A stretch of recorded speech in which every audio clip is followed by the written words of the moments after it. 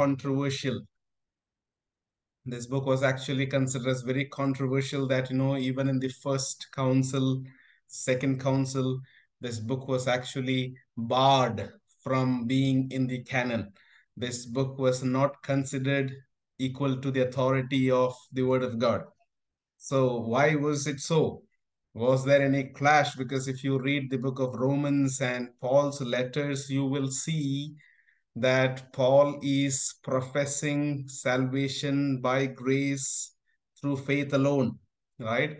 And then when you come to the book of James, you will see that, uh, you know, he's saying that, you know, you, your faith is dead if your work does not match it up to that thing. So this is, I know so many theological um, giants have argued on this book and have come to a conclusion that this book is not supposed to be in the Bible.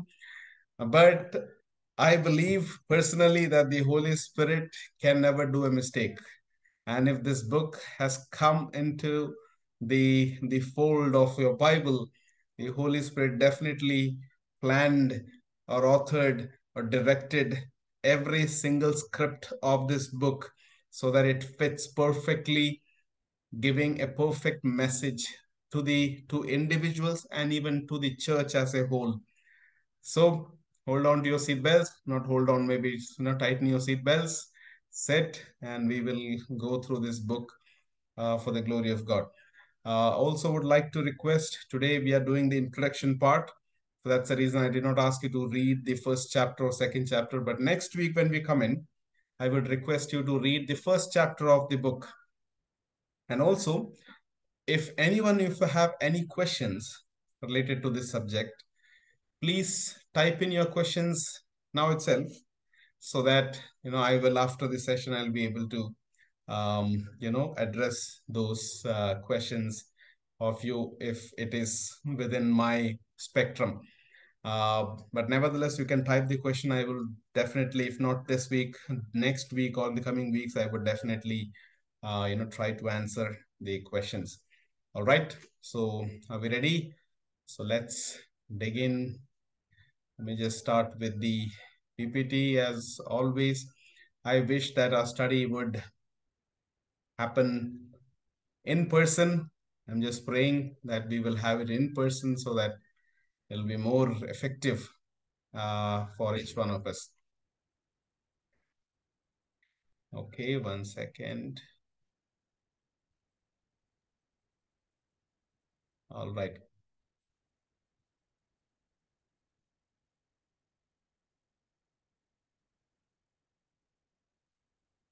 Can you all see the see the screen?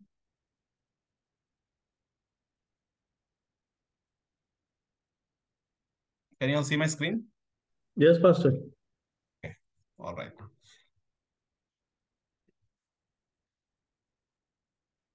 So this is the epistle of James. And as I pointed out, is it controversial or this gospel is blunt?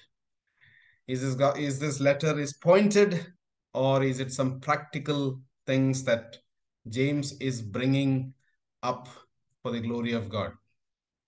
Um, so those are the things we are going to see. All right.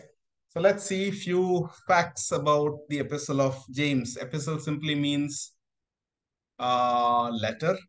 Okay. So this is the letter of James. And this is the first New Testament book written. If somebody asks you which book was written first, it was not Matthew, it was not Mark, it was not Luke or John, it was the Epistle of James.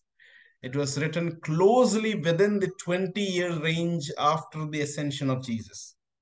Okay, so that is why this book has, um, like at this point of time, the church, the Jewish church is growing, and there had been, uh, you know, the persecution is persecution has started, and that's the that's the background of this this particular book and you'll be surprised uh, that this book is the first book written and it is not any other books. All right. So coming back to the facts, this book is also known as the Proverbs of the New Testament. we do have the Proverbs in the Old Testament, right? After Psalms, we had the book of Proverbs, where a lot of people have put in their wisdom uh, pearls into that book and have composed those books. Some of those wisdoms were from Solomon, from, from different authors. Now, in the New Testament, this particular epistle is known as the Proverbs of the New Testament. You want to see what are the Proverbs written? I will just go through it one by one. Okay, maybe not like detailed way, but we will see it one by one. One, a person with divided loyalty is as unsettled as a wave of sea that is blown and tossed by the wind. James 1 verse 6. So a person who does not stand for what is right, but he waves here and there, James gives a beautiful quote for such person. Just as body is dead without breath, so faith is dead without works. James 2.26. Does a fig tree produce olives or a grapevine produce figs? No. And you can't draw fresh water from salty spring. James 3.12. Don't you realize that the friendship with the world is enmity with God? James 4 verse 4. Resist the devil and he will flee from you. Come close to God, and God will come close to you. James chapter 4, verse 7 to 8. And then we have your life is like a morning. Um, one second. Let me just, yeah. Your life is like a morning fog. It is here a while, little while, and then gone. James chapter 4, verse 14. So and the last one, never take an oath by heaven or earth or anything else. Just say a simple yes or no. James 5 verse 12. You see, these are all pearls from James. And that's the reason why this book, this is just few of them. I just picked it up from the Bible. But there are so many where if you read the book of James, you will find out that there are this book is actually itself a proverb by itself you know proverbs of the new testament. That is what the the the the scholars have calling this book as the proverbs of the new testament. Let's move on.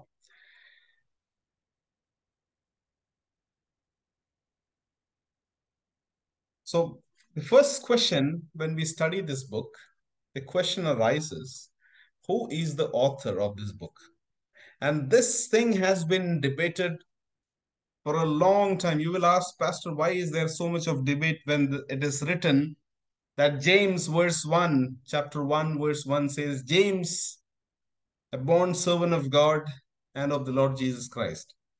So it is clearly written there who wrote this book, right? So why this problem of, you know, authorship? You will know Yes, this book is written by James. Uh, in Greek, the word for James is Iakobos, and for Hebrew it is Yaakov. In Malayalam also it is called Yaakov. In English, it is, however, James or Jacob. It is written by James, and he mentions it, slave of the Lord, and we know that this is brother of Jesus. Now, how do we con, con or maybe you know find out who is this James? Okay, we will see that in the in the coming um, slides. Written primarily to the Christian Jews scattered. Okay, it is written if you see that greetings to the 12 tribes which are scattered abroad. Okay, that is what it is written to Jewish Christians who were scattered because of the persecution. And if you ask me when this is happening, uh, the writer of this letter is actually telling in the context when Stephen was martyred. Okay, this is the beginning of persecution. And the persecution is increasing slowly by slowly. Saul, who is known as the you know, um, as the, the, the persecutor of the church, he is persecuting and Christians, Acts chapter 7 and 8, we see that Christians in Jerusalem were scattered throughout the Roman world. And this is the background of this, this particular book. Okay. And that is the reason if you read verse 2, you will see that Count it all joy when you fall into various trials. That's what he's starting this book with. Count it all joy. This is nothing. And verse 3 knowing that, you know, this is all working out for good. So he's encouraging these people that, you know, this is all fine. Don't worry. This persecution which is happening to you, do not worry. This is okay. This is okay. That is what he is saying. So this is the context of this, this letter of James. What is the purpose? Purpose is written in chapter 1, verse 4, where it is saying uh, to encourage the suffering body to stay strong in faith and to be perfect and to be complete. And that should be the goal of every Christian to be perfect and to be complete. Okay, to be perfect and to be complete without reproach. That's what, you know, uh, James is saying. Uh, let's, uh, if, you, if I read this verse, I will actually go through this later. Count it all joy, verse 2, when you fall into various trials, knowing that the testing of your faith produces patience. And then patience, let it have its perfect work, that you may be perfect and complete and lacking nothing. And in this context, the author is saying, but if you lack wisdom, what is the wisdom here? The wisdom here is to be patient. If you lack wisdom, then ask God, He will actually give you liberally and without reproach, and it will be given to Him. Many people take this word out of context and they use this word when exam is going on, and we say that, you know what, if anyone of you lack wisdom, there is nothing wrong in quoting this verse during those times. But the actual meaning of this verse is not in the context of gaining wisdom uh, or maybe you know doing something it is in the context of persecution where you are going through some trials you're going through some pain you're going through some of the tough situations of your life and it is actually bringing you to your knees and you are actually you know bro- you are broken inside but outside you are actually showing the fragrance of christ and you are actually asking that is the sort of wisdom which james is actually writing here. Okay, so as I told you, this book is written by James, but you'll be surprised to know that there are five James mentioned in the New Testament. How many James? There are five James mentioned in the New Testament. Okay, written by James, that's what we, we see, but five different men with the same name is been mentioned in the New Testament. Some of this I will uh, I will just show it. One is James, the brother of John. He's known as the apostle. James the apostle. Okay, this particular James was actually martyred by by Herod Agrippa one. It is mentioned Acts chapter 12, verse 2. So this is not the James who wrote the book of James because this book was written after this martyrdom. Okay, so this is not the James who wrote this book. So John the apostle is not the author. And then we see that James, the son of Alphaeus, okay, James, the son of Alphaeus, he's also mentioned in Mark chapter 3, verse 18. Um, he is also not uh, the author. Some people say that, you know, this James, the son of Alphaeus, is the son of Mary, not the mother of Jesus, the son of Mary, who is uh, mentioned in Mark 15 40. And he's also known as the James the Younger. Okay james the younger. So there is uh, james this apostle and then there is james the younger. His name is also known as clopas but this is not proven. So the third person i would like to bring to you is james the younger. Though they they they argue that this is the same person but we don't know. It is not written anywhere. So let's take it as a separate person altogether. So we have james the brother of john who is known as james the apostle. Then we have james the son of alphaeus. Okay one of the 12 known okay. And then we have james the younger.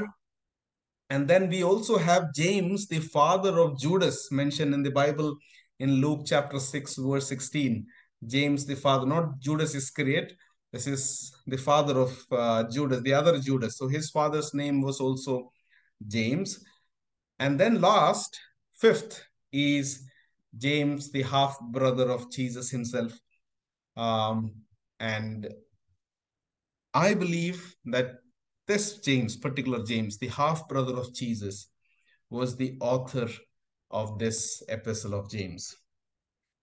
Okay. the uh, why did I say so? I will bring it to you in this. Uh, like, who was this James? Who was this half brother of James? And we know that from the Gospels that Jesus was definitely the older son of uh, Joseph and Mary. And then we also know that Jesus had brothers and sisters, right? He had brothers and sisters, by the way, when he came into this world. So let's see who this half brother of Jesus is. So I hope you are not confused with James have written this. That is the reason there has been contention uh, over the authorship of this book because there are five James and this book only says that written by James, the bond servant of Jesus Christ. That's all it, it is written. We don't know which James had written.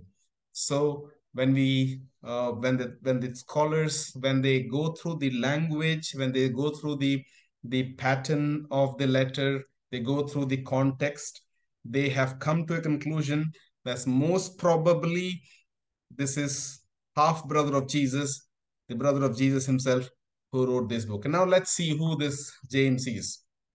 Okay, so stay tuned. Do not move because this is going to be interesting. Who is this James?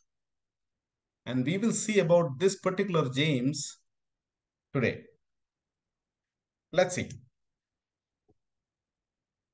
In some of the historical church fathers book, this James is mentioned as being so pious a Jewish Christian that he got a name. And the name was James the Just. James the Just. So this James is known as James the Just because he was so pious, so in love with Jesus, so humble that people, the church members, they labeled him James the Just. Okay. He was actually an unbeliever during the time of Jesus. It is written in John chapter 7, verse 5. Even the brothers of Jesus did not believe in Jesus. That's what it is written. Even the brothers of Jesus did not believe in, in Jesus. So that said, his brothers, so James did not believe in Jesus during the earthly life of Jesus. But his life was transformed as we see in First Corinthians chapter, chapter 15, verse 7, his life was transformed when the resurrected Jesus met and gave appearance to James. It is written in First Corinthians chapter 15, verse 7. Just want to read it out for you, which says, uh, you know, Paul is saying that, you know, uh, I delivered this message. And, uh, you know, verse 5 says he was seen by Peter, then the 12, then by 500 men. Verse 7 says, and then he was seen by James. You see that? He was seen. So Jesus Christ, when he got resurrected, he was actually, he, he, he actually came to James. And then by all the apostles. So see, actually, if you see that language there in First Corinthians 15, 7, James is mentioned aloof. That means he is not mentioned along with the apostles. He is mentioned as separate, like James and then all the apostles. So this is the James where I'm talking to you about. Okay, so he got his life got transformed by the appearance of Jesus after the resurrection. Okay, he was an unbeliever he did not believe in Jesus. He thought Jesus is just one random magic guy, you know, maybe a random teacher, maybe a good person. But his life transformed on his first, uh, you know, encounter with Jesus. And that was during, after the resurrection of Jesus, when after Jesus ascended to heaven, uh, sorry, after Jesus resurrected and appeared to, to James. And you will see in Acts chapter 1, verse 14, after the ascension of Jesus into heaven, James was among the believers who gathered in the upper room for the time of prayer. Okay? He was there in the upper room. And then we see about this James that he became the chief elder of the church in Jerusalem. And then he also became a leading figure in the Jerusalem Council of Acts chapter 15. So if you read Acts chapter 15, we see a prominent James there. Okay. And this is the same James, the brother of Jesus. He became the chief elder of the church and also a leading figure in the Jerusalem Council mentioned in Acts chapter 15. And according to Galatians 1 verse 9, he was also considered as an apostle. Yes, he was not the James the apostle, but he was also considered as one of the apostle later. He was also known as peacemaker who led with wisdom and courage. Paul visited him, took advice on his final visit to Jerusalem, which is mentioned in Acts chapter 21, verse 18. Paul also went and visited him. So if this was Paul the apostle, then whom did Paul visit? Because in chapter 12 of Acts, it is written, Herod killed James. And who is this James? So then we know that this is the brother of Jesus. He was labeled by Paul in Galatians 2, verse 9. He was labeled by Paul as one of the pillars of the church. Okay. By the way, church, brethren, you can take a screenshot after this uh, whole slide is there. I will just wait for once uh, for 10 seconds. You can actually take this, this, this um, uh, you know, screenshot. So this James was labeled by Paul or maybe even, you know, said he was known as pillars of the church. But what happened? You want to know what happened to this particular James? He was denounced as heretic by the high priest Ananus. He was stripped of all the positions. Okay, he was stripped of all the positions. And then, you know what happened? Very tragic thing happened to this particular James. According to Josephus, by the way, who is this Josephus? I have mentioned to you in the early studies. Uh, this person is a very uh, important person of um, of Jewish history because this person was a historian. He was not a believer. He was a Jewish historian who wrote history books, and those history books are available even today. So in in his book, and the book it is the book's name is Josephus Antiquities 20.200 it is written that James was first stoned after the high priest stripped him of the position. He was stoned. And then he was taken to the pillar top of the temple and he was thrown headlong down and he died in AD 62 okay? This is the tragic death of this man of God who actually gave his life for truth. Now, let me just give you some of the quotes of some of these people, okay? Who one is Josephus itself. This is this book was written in AD 93. Book number 20 of chapter 9, section 1, written in AD 93, describes the circumstance surrounding James' death. Okay, this is James, the brother of Jesus. Look at what it is written. Ananias, who is the high priest, convened the judges of Sanhedrin and brought before them the brother of Jesus, the one called Christ, whose name was what? James. By the way, this is not in the Bible. This is in the history book Jewish history book. If you want to know where it is mentioned about Jesus other than Bible, go to the history books, you will know where all it is written about Jesus. So Jesus was not just some fancy story written and composed by some random guy of this universe sitting in one random place. No, it is not some idea evolved by some guy somewhere. You know, he just thought, okay, let me just make a story and let me just make this up. No, this is a real instance which happened in the face of the world. And that is Jesus. So this is the testimony of Josephus, who was not a, who never became a Christian, by the way. Josephus was not a Christian. He was completely against anything. So he was a neutral history writer. Okay, now what he's writing? Ananias convened the judges of the Sanhedrin, brought before them the brother of Jesus, the one called Christ. You see the language? The language is not inclusive. Language is pointing towards the one called Christ, whose name was James, and certain others. So along with James, there were certain other people, and accusing them of having transgressed the law, delivered them up to be stoned. All right. Now, centuries later, Eusebius, one of the church father, okay, now this is a church father, a Christian church father. He wrote in his ecclesiastical history, quoting the early Christian historian. So Hegesippus is a Christian historian who became a Christian. So Eusebius is quoting this historian. He is saying, James became a true witness both to Jews and Greeks that Jesus is the Christ. Just go back a bit what I said to you in John chapter 7, verse 5, where he himself did not believe in Jesus.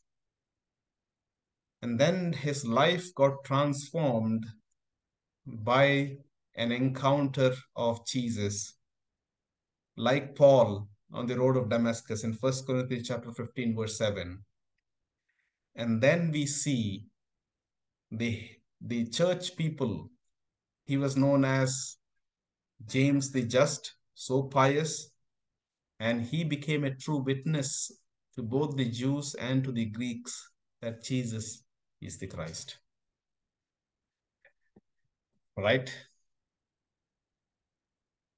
I want today as you read the first verse, James chapter 1, verse 1, part A says, James, a bond servant of God and of the Lord Jesus Christ. This word actually today, as I was meditating on this, this word really touched me. Okay, this word really touched me. James, being the brother of Jesus, he could have actually established his authority over the church and say, you know what, guys? I know Jesus. I've lived with him. I know his inside out. I am the man who knows him better. You all have you all have come afterwards. I know him better. It's like this. Just imagine when you meet a person and you say, Hi, Mr. A. Okay, hi.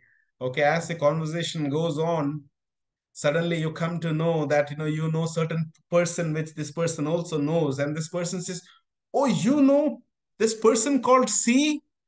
And then this person a says ha, that person we are very close to each other. We know for like 10 years you know. We know for 20 years. And especially we say no we are very close that you know we studied together. We we we we ate together. We played together right and that familiarity did not actually go inside James. When he said, I am James, I am the bond servant of God and of the Lord Jesus Christ. It doesn't matter he was my brother, but I am convinced that he is God and I am transformed by him some of us have actually you know read this verse called in first peter 2.10 live as free people but do not use your freedom as a cover up for evil. Live as god's slaves. Live as god's slaves. The problem happens including me as a pastor the problem happens when we feel that this is our right to do and this is what we we will do it because I am in authority. I can do anything because I am in authority. And that is why Peter mentions this live as free people, but do not use your freedom as a cover up for evil. Don't cover evil because you are somebody who is close, or maybe you are somebody who is close to Jesus and you know what is going to happen. You know this person very mm, closely, and you've been using this freedom to put down, to put down certain things. And here, Peter is mentioning, Don't use your freedom. You know, today as I was reading uh, this the, uh, the from the book of um, Esther, I know this verse has been very very familiar verse in Esther chapter four verse fourteen. Esther four verse fourteen. I will just read it out for you. Esther verse four verse 14. Okay, this is a small dose of Mordecai to Esther. He says, If you remain completely silent at this time, relief and deliverance will arise for the Jews from another place. But you and your father's house will perish. Yet who knows whether you have come to the kingdom for such a time as this. When we are in the presence of God, we actually should ask this question and we if we are in you may be in the workplace you are in a position or you are in the church you are in a position or you are in your house you are in a position or you are in a locality where you are in position or you are with your friends and they they look up to you and you are placed as a positional head mm, let me just remind you you have been placed as a servant of the Lord. Let me just rephrase it as a slave of the Lord Jesus Christ. And this freedom which the Lord has given to you, let me just make this clear. In the Jewish is in the Jewish uh, language, so many types of slaves are there. One of the type of slave is a slave who is actually, you know, sold out for like he's been purchased okay? He's been purchased. And the greek uses a different word for that slave. There is another word which is called doulos which is a bond servant okay? What do you mean by this bond servant? Is this this particular slave has been released from the from the obligations but this slave now because he's released and he's free he decides in himself i am though I am free now, but yet I am going to serve this master and I will be his bond servant. That is the word bond servant. He is not entitled to live there. He's not, you know, he's not supposed to be there, but he choose willingly to be the slave of the master. And that is the same phrase. Some of your Bible translation may use the word instead of um, instead of you know slave some of the bible translation may use especially nkj may use bond servant and what does it mean is though james is saying here though i am the brother though i know him personally i am still willingly suffering and knowing that jesus christ is my lord jesus is my lord I just wrote this, you know, most of the time when we live, we read the word and we have, uh, you know, this, especially in today's world, many people have this, this uh, intuition to know more. Okay. I just want to know more information. I just wrote this up. God is not interested in accumulating some spiritual information, but he is more interested in some spiritual transformation. I repeat, God is not just interested in some, you know, you accumulating some of the spiritual information and you, oh, I know certain things, I know certain theologies, I know, uh, you know, how to read Greek and Hebrew, I know how to preach well, I know how to lead worship, I know how to exhort from the word, I can do it better. God is not interested in those information. God is interested in spiritual transformation. Just like this guy who never believed in Jesus, he came, the one that one, you know, encounter with Jesus after the resurrection changed his perspective.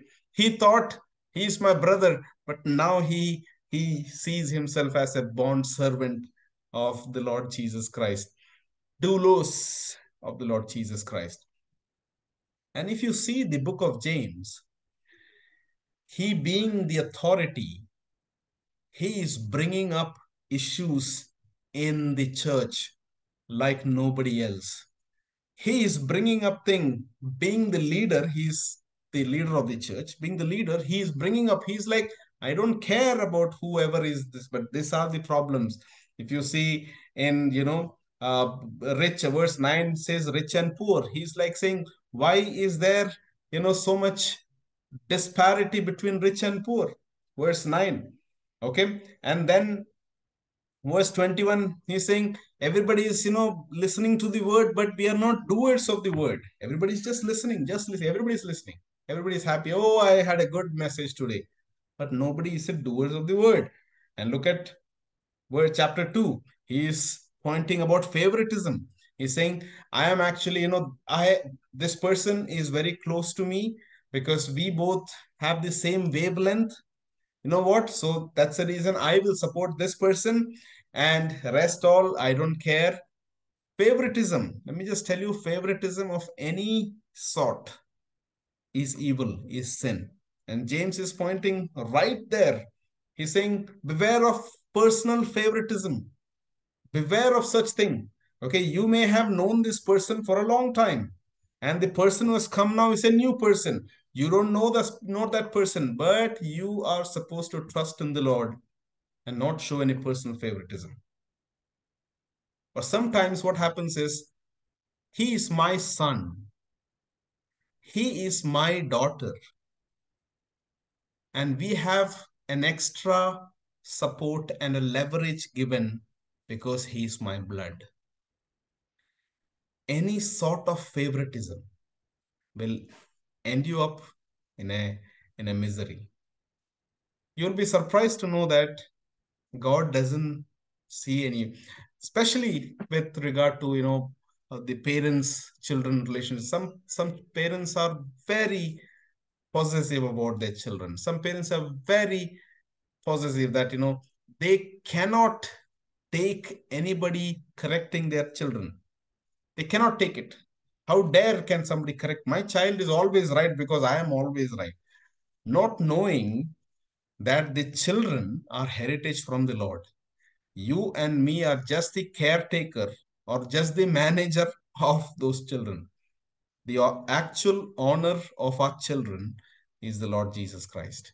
You know why? Because He formed them, He made them, He provides for them, He gives them growth, He gives them maturity.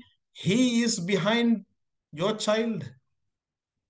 You know, you don't have to become sensitive or, you know, show favoritism for this. Now, look at verse 14 saying, faith without work is dead. You are preaching about faith and faith and faith, but it is not reflecting in your life. James is saying, guys, you are in a wrong place. Chapter 3 is talking about tongue. Okay, that's the reason I like this book because this book is so amazing. He's saying that you are talking and behaving to everybody else as if you are the most spiritual person, but your tongue you cannot control. What use is your spiritual life? Verse chapter 3. Okay. And then verse 13 onwards of the same chapter, he is comparing the heavenly wisdom with the worldly wisdom. The heavenly wisdom is in meekness of wisdom, is in meekness. The worldly wisdom is envy, self-seeking, sensual, demonic, and that is what.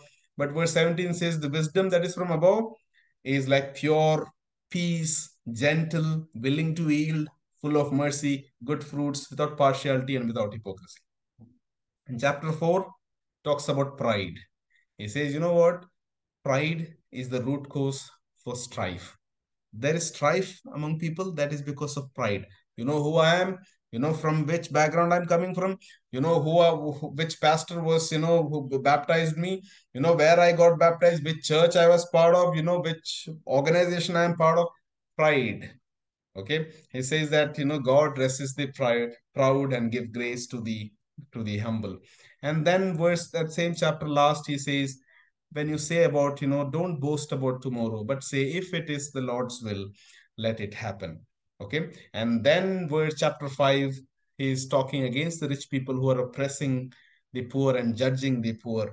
And he's saying, be patient and then ending this book. Let me stop it here with one small quote, and that is the same quote which I wrote it. God is not interested in your spiritual, accumulating spiritual information. He is interested in your spiritual transformation. God will not see how much degree you have acquired, how much wealth you have acquired, how much, you know, you have been influential in this society, how many, how many friends you have, or how many people you have brought to the church, or what position you hold.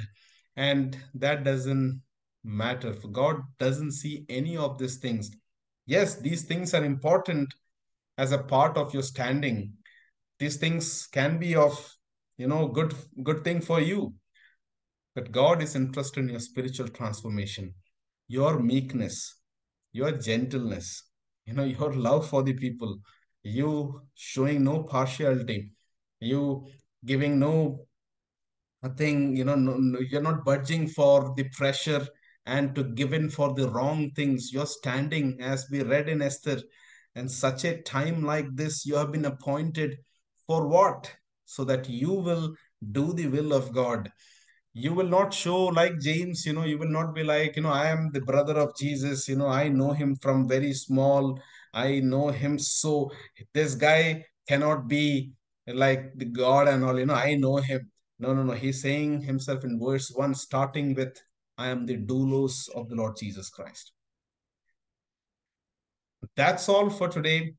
And I hope that in the coming days we will see some of some of the some of more informations and some of the things that James is actually why, and also we'll see why this book became so controversial that it took centuries so that this book would come in the fold of the Bible. And we will see that in the coming weeks. Stay tuned. And this is now over to you all. If there is any questions or any comment, or if you want to add something, or you want